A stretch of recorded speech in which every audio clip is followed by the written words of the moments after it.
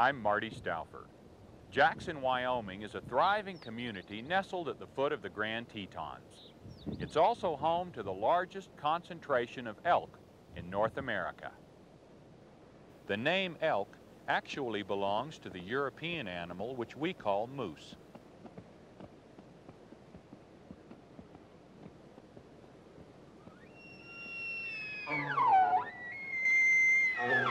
Whatever you call them, elk are magnificent.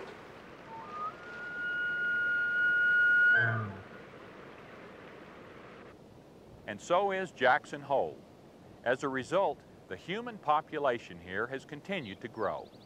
Much of the land which was once elk wintering range has been converted to ranches and housing developments. Today, humans are trying to strike a balance with the wild herds. Let's take a look at the sometimes controversial situation in the Valley of the Elk.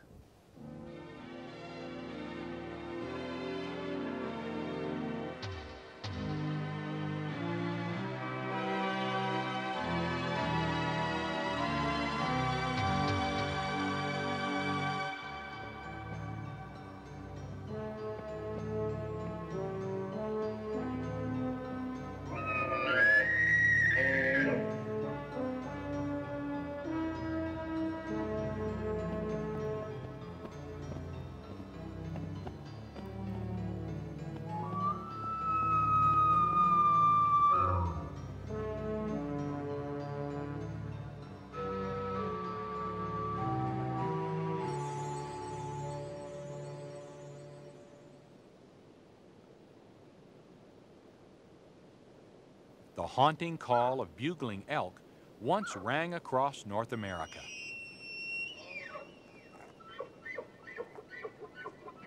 They were the most widely distributed member of the deer family, about 10 million strong in the 1700s. As civilization spread westward, the great herds were exterminated. By the 1900s, 99% had vanished.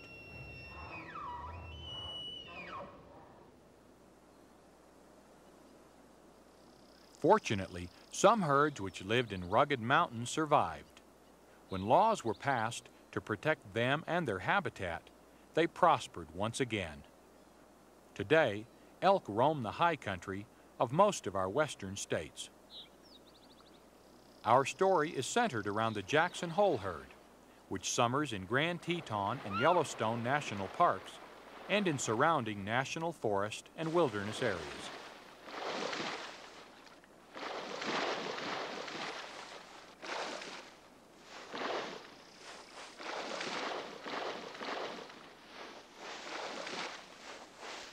Cool water may feel good on a hot afternoon, but wallowing is also an important part of mating behavior.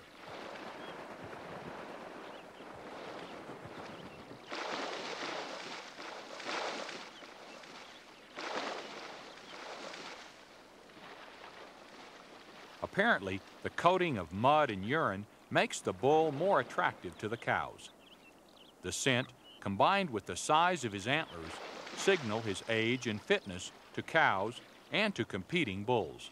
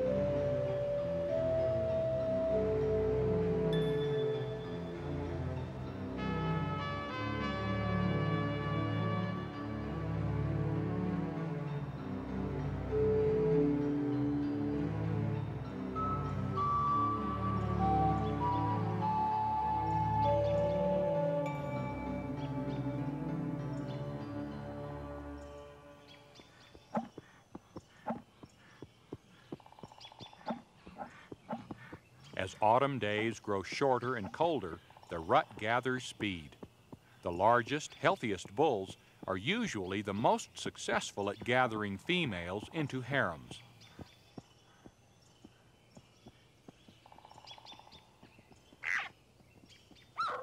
Young bulls remain on the outskirts and will steal cows when given the opportunity. There is growing concern that hunting is reducing the number of large bulls in some areas, leaving only immature animals for mating. Given the choice, receptive cows will reject smaller bulls and actually initiate mating with a larger bull.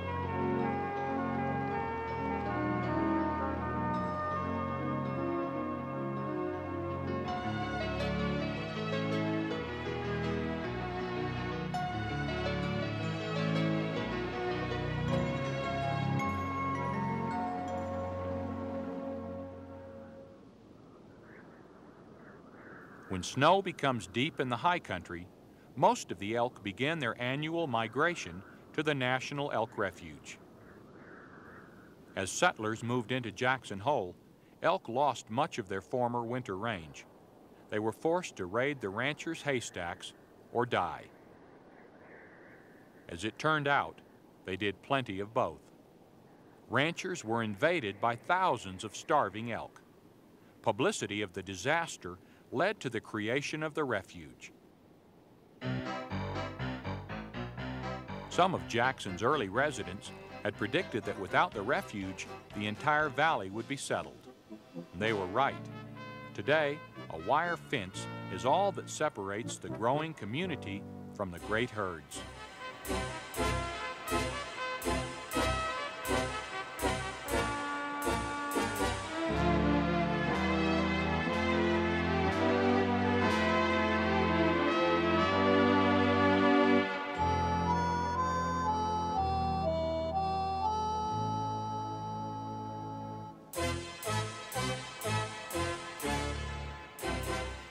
By the time snow blankets the valley floor, part of the herd has already reached the refuge. Some elk travel more than 100 miles, crossing mountain passes and icy rivers, following almost exactly the same path from year to year.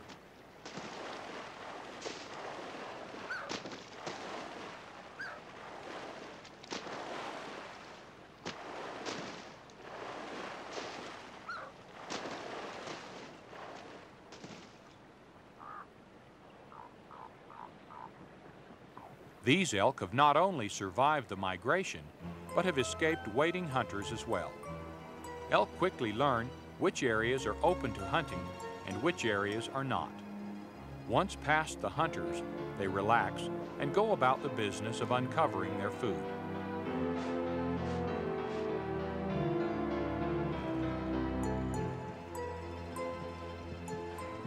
Those still migrating face a less certain future.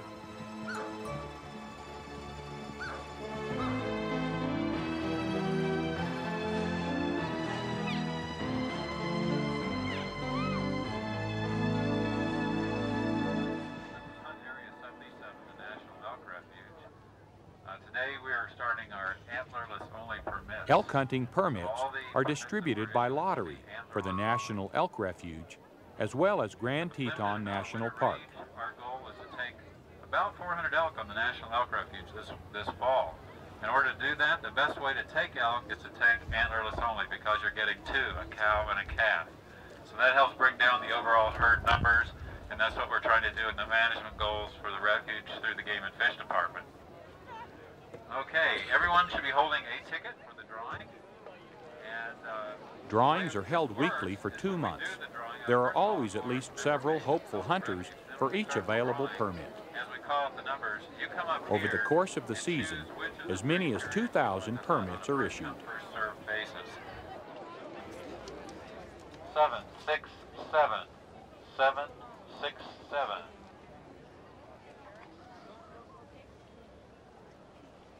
Four, seven, three, four, seven, three, four, The lucky winners pay a regular license fee. And naturally, as with all hunting licenses, the money goes to work for further management. Which day, sir? Hunt areas and even hunting times are strictly regulated and controlled. Eight, one, three. Most of our national parks do not allow sport hunting. Grand Teton is an exception.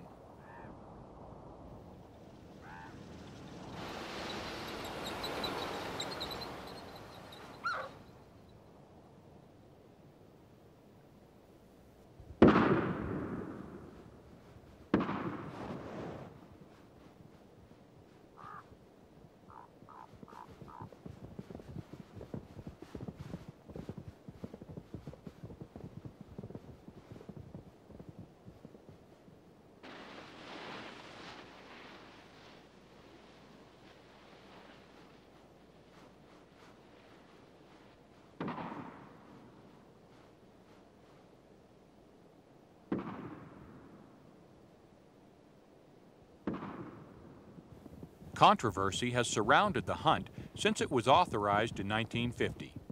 Each year, an average of 600 elk are killed within the park.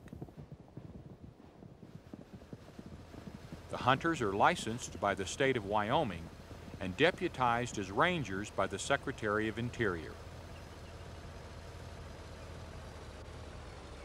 Critics feel the hunt is unfair, unsportsmanlike, and unnecessary.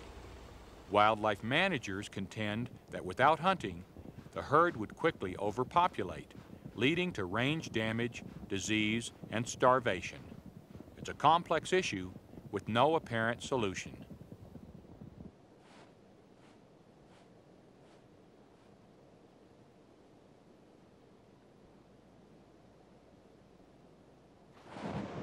For most hunters, the motivation is food. An adult elk will fill a freezer with up to 400 pounds of meat.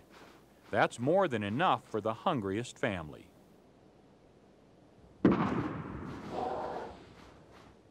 Even so, death is never pretty, especially when the animal in the crosshairs is as beautiful as an elk. Much of the opposition to the hunt is actually based on this emotion.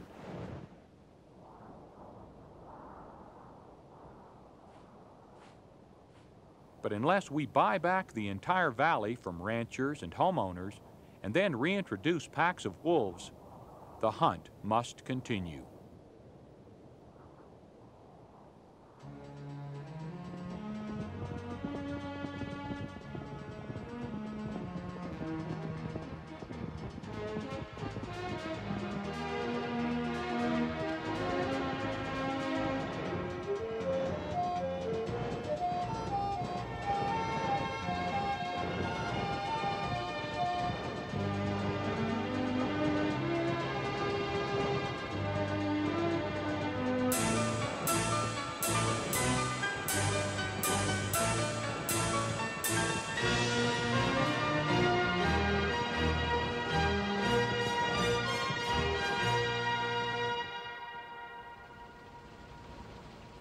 Each year, the herd increases by about 20%. So hunting must remove 20% to keep the herd size stable. However, the elk seldom cooperate. They are learning to bypass the hunt areas and to migrate primarily at night.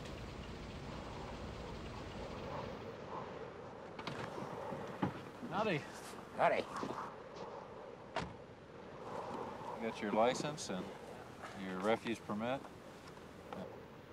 All right, thank you. Thank you. Here's your, you can just keep this with you when you're transporting it. You don't have The to- National Elk Refuge has a goal of 7,500 wintering elk, but they have been unable to reduce the herd to this level for several years. Ironically, some individuals must be killed to benefit the herd.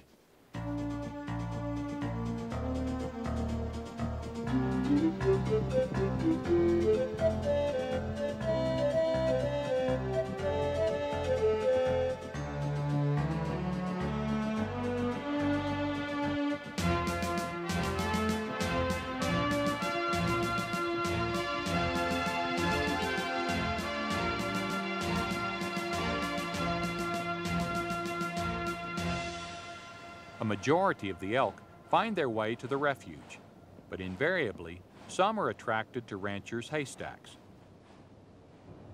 Housing developments, fences, and roads contribute to the problem by blocking historic migration routes.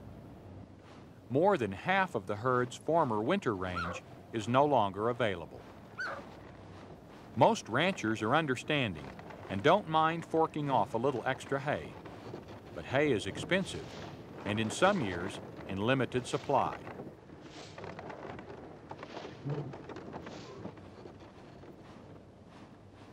In addition, the threat of disease transmission worries both ranchers and wildlife biologists. Many of the elk carry brucellosis, which can kill unborn elk and cattle.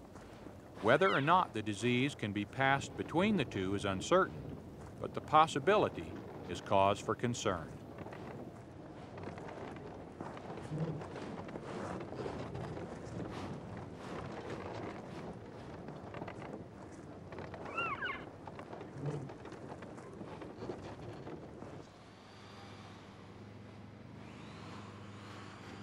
Each year, the problem grows as more and more people move into the valley.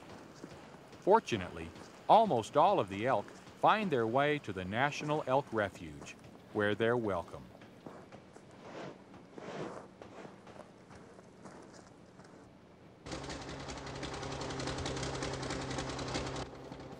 In early winter, the elk graze on grasses in the nearly 25,000 acre refuge. However, when this food becomes buried beneath the snow, their diet is supplemented with compressed alfalfa pellets. Each elk receives about 8 pounds of pellets per day. It costs $50 to feed a single elk through the winter. That's nearly half a million dollars for the entire herd. Even feeding the elk is not without controversy.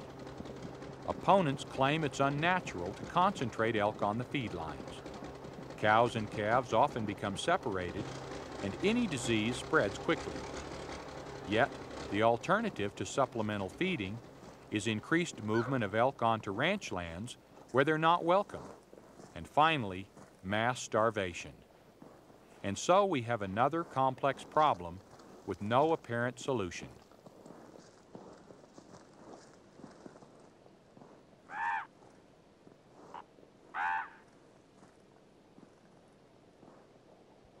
To a hundred coyotes also live on the refuge, and they survive the winter as scavengers.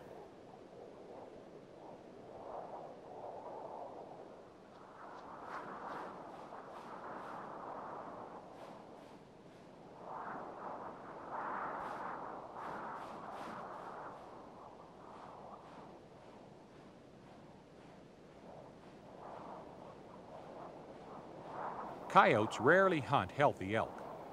This calf has become separated from the herd, yet it's strong enough to fend off the attack.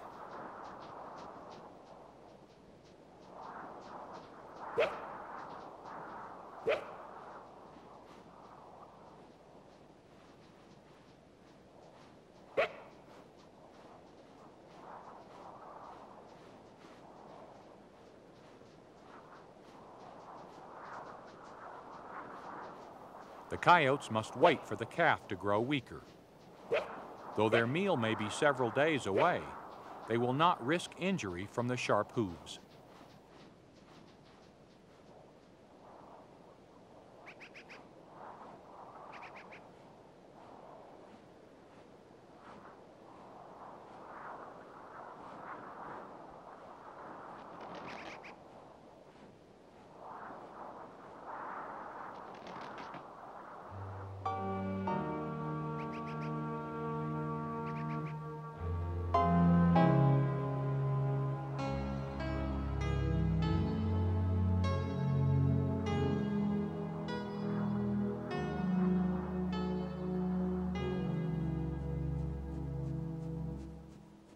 Before humans settled in Jackson Hole, winter weather and predators kept elk numbers in check. The current feeding program has eliminated large-scale die-offs, and predators such as wolves and mountain lions have been virtually exterminated. Humans have tried and failed to eradicate coyotes, but they're a relatively ineffective predator of elk. The result is an elk herd which continues to increase each year. We've upset the natural balance and have left ourselves with little choice but to control the herds by hunting. It seems the more we disrupt natural processes, the more we must intervene to compensate.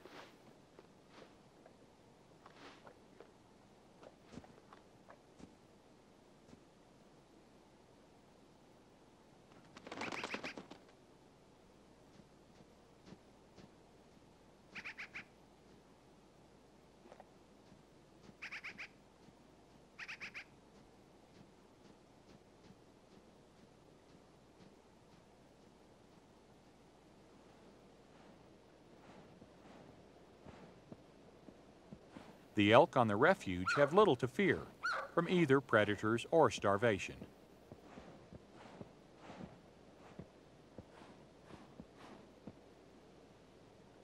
These playful young bulls have wintered well on the abundant grasses and supplemental feed.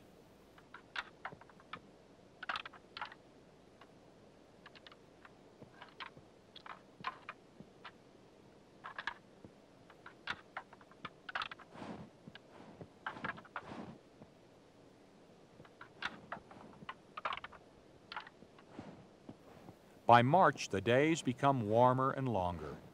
The increasing day length triggers hormonal changes in the bulls, causing them to shed their antlers. Within a few weeks, they will all have lost their headgear. Their new set will take about four months to grow. Each year, after the elk return to their summer range, the local Boy Scouts collect about 6,000 pounds of the shed antlers.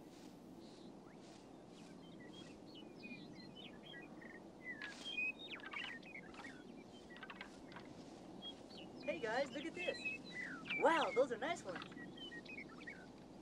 We better be getting back. The annual auction is held on the square in downtown Jackson. Well, I'm nine, give me nine, make it nine, go nine, not ten, give me ten, make it ten, now eleven, make it eleven, give me eleven, not 12, give me 12, give me 12, give me 12, give me 12, give me 12, give me 12. I've got 11 back there. I'll keep you in. I got 11, how about 11 and a half? Will it be 11 and a half? Got 11 and a half, make 11 and a half, make 11 and a half, make 11 and a half, make 11 and a half, and not 12. Will it be 12, will it be 12, will it be 12, I'll get 12, not 12 and a half. Will it be 12 and a half, will make it a half, give 12 and a half, make it 12 and a half, 12 and a half, and not 13. No, no, 13, not 13 and a half, and not 14. Will be 14, then make it 14, leave me 14. You're out, so it be 14? You go 14, not 14 and a half. Give me 14 and a half, make it a half, give me 14 and a half, go 14 and a half, and not 15, leave go 15, leave go 15, leave go 15, not 15 and a half. Give me 15 and a half, I get 15 over here, need 15 and a half, make it half, give me 15 and a half, one time 15 and a half, 15 and a half, sold for $15. The man's number is, what's your number, sir? Number 1515. The average price paid for antlers is about $14 per pound. So each year, the Scouts earn more than $50,000. They would certainly be the richest troop in the nation if they kept all of the proceeds. But they donate 80% back to the refuge to purchase feed for the elk. Many of the antlers are purchased by Koreans who use them for various medicines, including aphrodisiacs or love potions.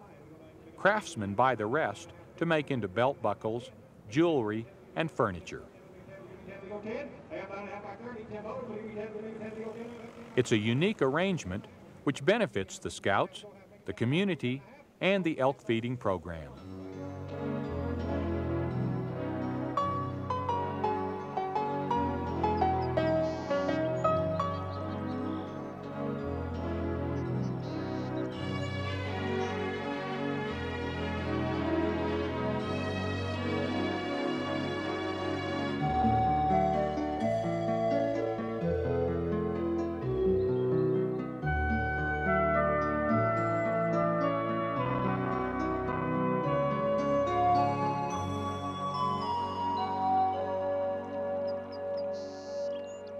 Despite the minor problems and controversies, the Jackson Hole elk herd is doing great. In fact, the most troubling problem is that there are often too many elk. If only we had this luxury with all species of wildlife.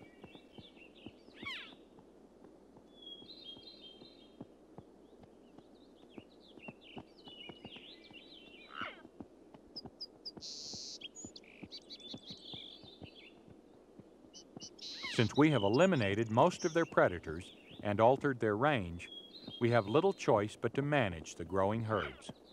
Yet it seems the more we manage, the less wild our wildlife becomes.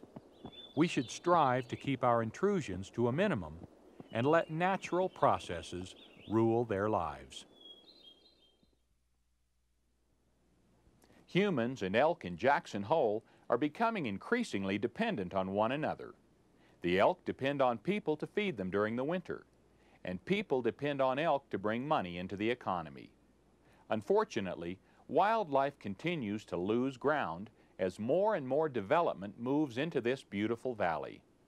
Hopefully, enough wilderness will be preserved to ensure that Jackson Hole will always be the Valley of the Elk. I'm Marty Stouffer. Until next time, Enjoy our wild America.